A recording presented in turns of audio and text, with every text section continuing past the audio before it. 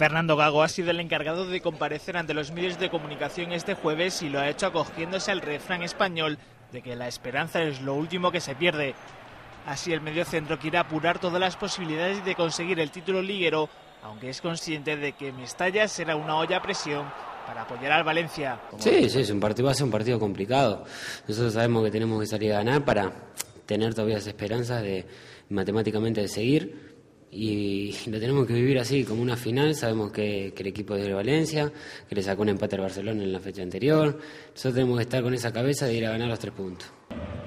Va a ser lindo, es lindo que la gente esté así, que lo viva así. Por ahí en Argentina se vive de la misma forma, entonces eso a mí yo ya estoy acostumbrado y me gusta. Entonces la verdad que, que es una linda motivación que lo disfrutemos así el partido.